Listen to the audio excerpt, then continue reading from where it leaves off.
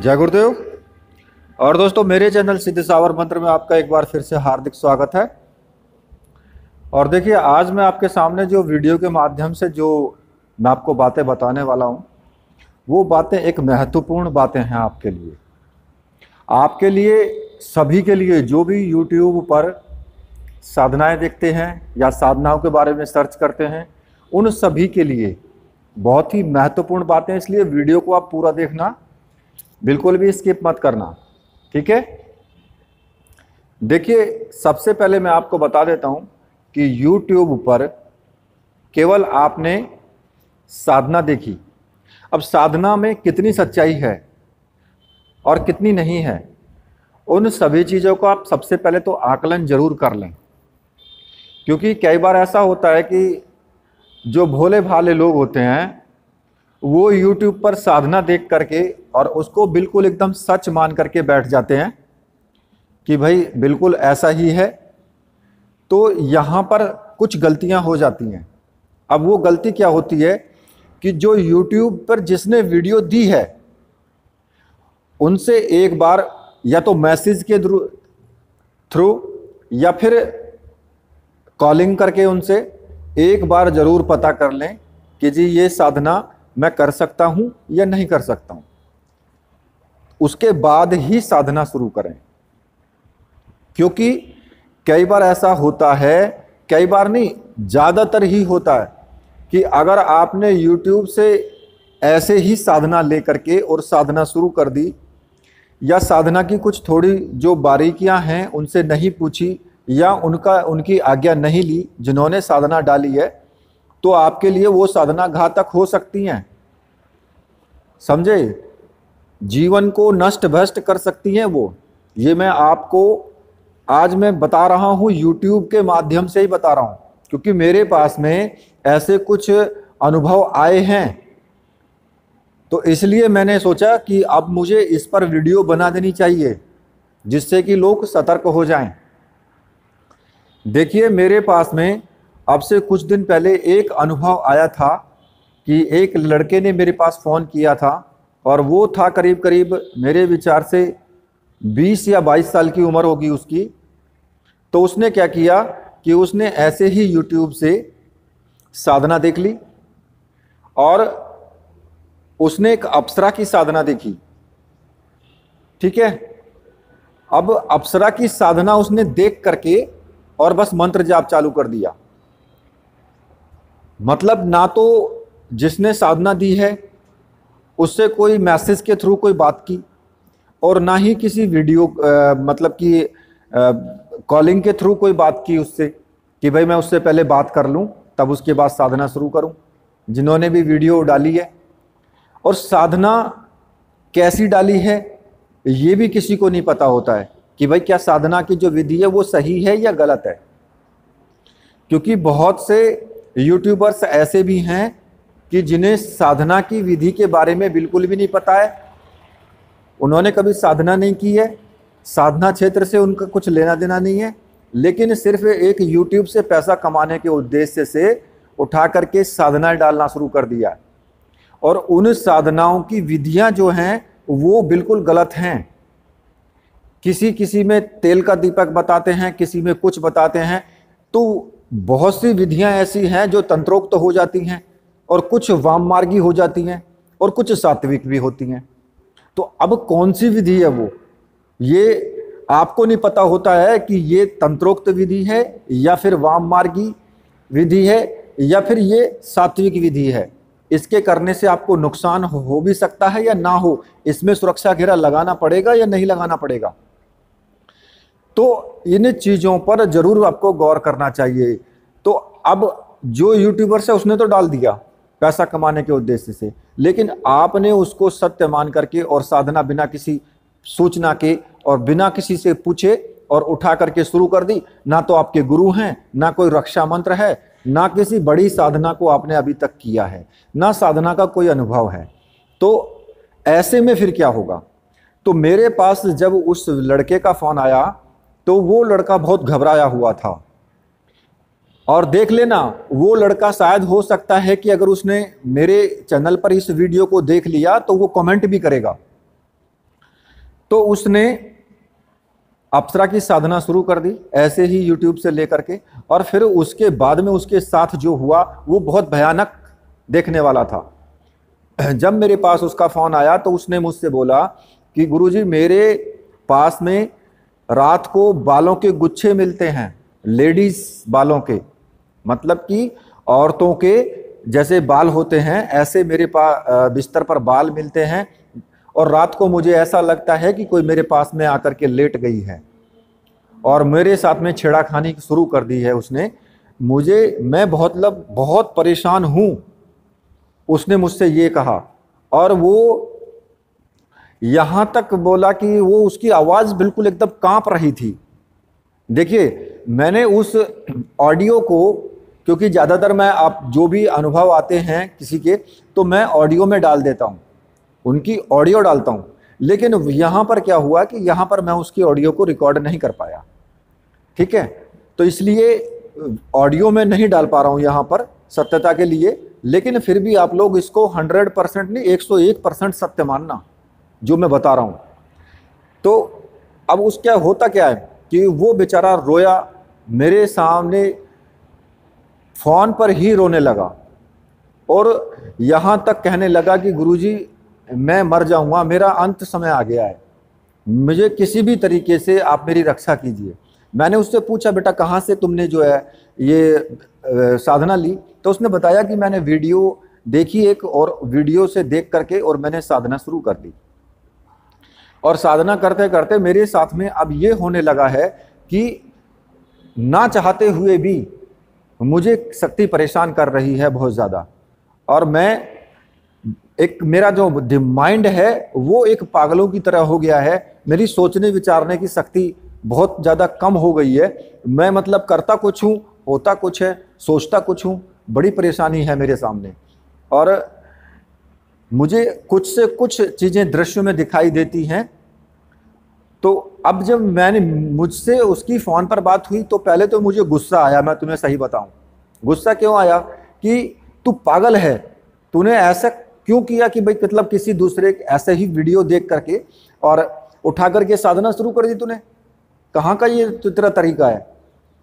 भाई पहले उसको देख लेना चाहिए कि कौन सी विधि है, कैसी विधि है। तो उसने मुझे फिर बताया कि गुरुजी, अब जो गलती हो गई है, वो तो हो गई है।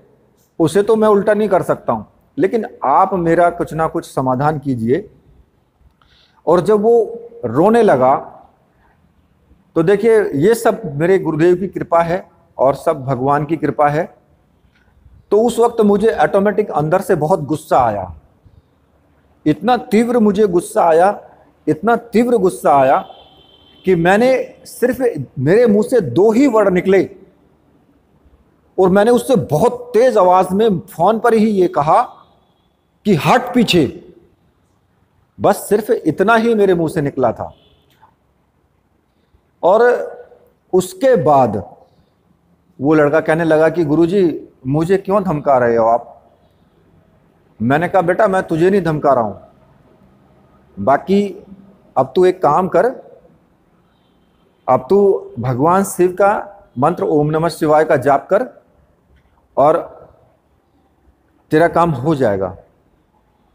तो उस लड़के का मेरे पास फिर करीब करीब एक हफ़्ते बाद उसका फ़ोन आता है दोबारा। उसने मुझसे कहा कि, गुरुजी, आपकी बहुत बड़ी कृपा हुई है। मैं उस, जो मुझे वो शक्ति परेशान कर रही थी और मैं अब बिल्कुल ठीक हूँ। ना ही मुझे अब वो सपने आते हैं, ना ही मेरे पास में आके कोई लेटता है और ना ही मुझे बालों के गुच्छे मिलते हैं और मेरा माइंड भी ठीक है और अब मैं पढ़ाई भी कर रहा हूँ। तो मेरे क्या तो उसने जब मुझसे ये कहा तो मैंने सोचा कि उसका काम हो चुका। अब ये ठीक है वो लड़का। तो इसके बाद फिर उसका, उसने ये कहा कि गुरुदेव, जो भी आप आप मुझे आज्ञा देंगे, मैं वही काम करूँगा। जो मुझे आप आज्ञा देंगे, मैं अब और कुछ नहीं करूँगा। जैसा आप मुझसे बोलेंगे, मैं वैसा ही करूँगा। मैंने कहा, बेटा, अब तेरे को जो करना है, अब तू मुझे दोबारा फ़ोन करना और उसके बाद फिर मैं तुझसे बात करूँगा। पहले तू ओम नमः शिवाय मंत्र का बस केवल जाप कर और अपनी पढ़ाई कर।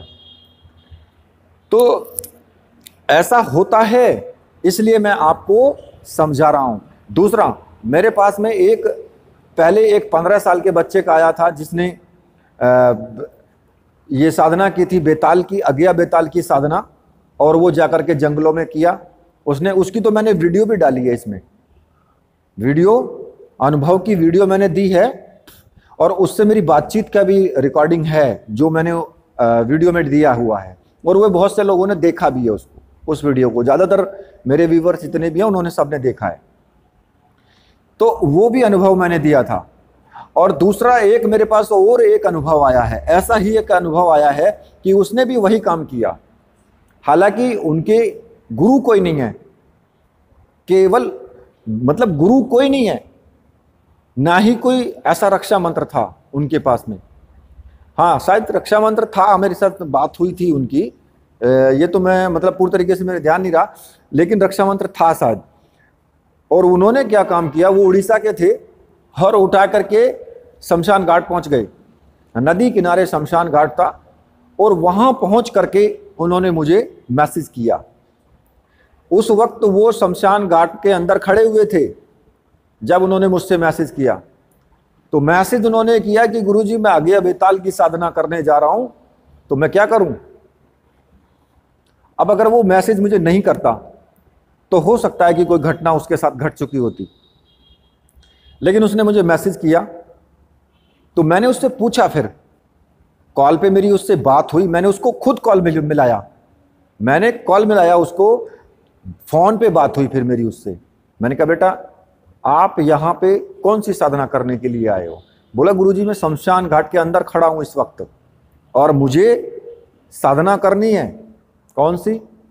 मैंने उससे पूछा, बोला, जी, अगिया बेताल की साधना करनी है। मैंने कहा, बेटा, एक बात बता, तूने रक्षा मंत्र किया? कोई तेरे गुरु हैं? गुरु मंत्र तेरे को दिया किसी ने? गुरु मंत्र की में शक्ति है, पावर है, देखा कभी? तो उधर से मेरे को जवाब मिला कि नहीं। भगवान शिव को मैंने सिर्फ़ गुरु माना है और बस मैं साधना करने उतर मैंने कहा, फिर जाप कितना किया भगवान शिव के मंत्र का? तो मतलब मुझे कोई संतोषजनक उत्तर नहीं मिला। हाँ उन्होंने महाकाली की साधना की थी। शमशान घाट के अंदर महाकाली की साधना शायद की थी और साधना भी वो ऐसी की थी कि मतलब कुछ टाइम किया था उन्होंने, लेकिन उनको हल्के दुल्के अनुभव हुए थे। लेकिन उग्रता में महाकाली और बेताल की साधना करने में थोड़ा सा डिफरेंस है, अंतर है बहुत। क्योंकि बेताल बहुत उग्र है। हालाँकि माता भी उग्र है, लेकिन वो माँ है। लेकिन वो जो बेताल है ना, वो नहीं समझेगा कि भाई तुम उसके बेटे हो या क्या हो। वो लाइन में लगा देता है फिर, क्योंकि वो बहुत उग्र शक्ति है। तो इसलिए बेताल की साधना जो है, वो बहुत तीव्र साधना है। तो अब तुम बेताल की साधना करने आ गए हो, माता की साधना तुमने ठीक तरीके से अभी की नहीं है। पूर्ण नहीं हुई थी वो भी साधना उनकी। कुछ दिन किया और जिसने बताया, उसका भी अता पता नहीं था। मतलब कि जिसने साधना बताई थी महाकाली की, जिसने मंत्र दिया था, उसका कहीं अता पता नहीं था। कोई अघोरी था वो, उसका उनको मालूम ही नहीं था कि कहाँ पर है। कहते थे कि मुझे बता करके और वो पता नहीं चले गए हैं वो तो। मैंने कहा, फिर बेटा, फिर कैसे होगा? कि मुझे बेताल की साधना करनी है। अब अगर वो मुझे फ़ोन ना करते तो मैं उनको समझाता नहीं।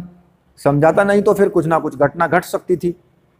लेकिन उन्होंने फ़ोन कर लिया, मैंने उनको समझाया, मैंने उनको वापस भेजा वहाँ से। शमशान घाट से मैंने उनको वापस भेजा कि बेटा, अभी साधना करने की तुम इस लाइन में नहीं हो कि अभी तुम ये साधना कर सको। पहले महाकाली की साधना पूर्ण करो, उसके बाद फिर तुम ये साधना करना। ठीक है? अब ये कुछ अनुभव ऐसे हैं कि जिन अनुभवों के आधार पर मैं ये कहता हूँ कि आप कोई भी साधना YouTube से उठा करके या YouTube से ऐसे ही आपको मंत्र जाप बिल्कुल नहीं करना चाहिए। बिल्कुल भी। एक बार ज़रूर आप YouTube में जिसने भी डाला है, जिसने भी साधना डाली है, उससे ज़रूर एक बार बात कर लेना। अगर वो उसका फ़ोन नहीं मिलता है, कोई कॉन्टैक्ट नंबर नहीं है, कोई मैसेजिंग नंबर नहीं है उसका तो फिर उसकी दी हुई साधना मत करो। बिल्कुल मत करो। और उस YouTube को जो चैनल है, उसको भी देखना बंद करो।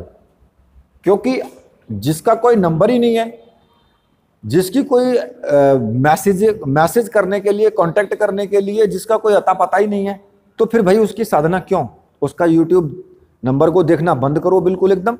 और जो आपसे मैसेज के थ्रू बात करता है या फिर कॉलिंग पे भी बात करता है, उनसे बात करके तब साधना शुरू करो। चाहे वो कोई भी है, चाहे वो कितना बड़ा भी अपने आप को अघोरी बताए, कितना बड़ा ही वो अपने आप को संत महात्मा बताए यूट्यूब पर, लेकिन बिल्कुल भी साधना मत करना। ये मैं आपको आगाह कर रहा हूँ। क्योंकि कहीं ऐसा ना हो कि आपके साथ कुछ घटनाएँ घटें और फिर आप इधर उधर फ़ोन करते हुए फिरे जाओ कि भाई, मेरा तो मेरे साथ ऐसा हो गया, मेरे साथ ऐसा हो गया। जैसे उस लड़के ने मेरे पास कॉल किया था। हालाँकि वो लड़का अब ठीक है, कोई दिक्कत नहीं है उसको। लेकिन उसके लिए हो गई प्रभु की कृपा।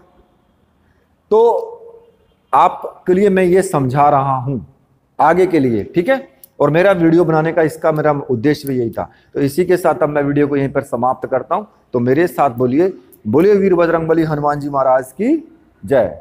बोलिए मेरे परमहंस सदगुरुदेव की जय।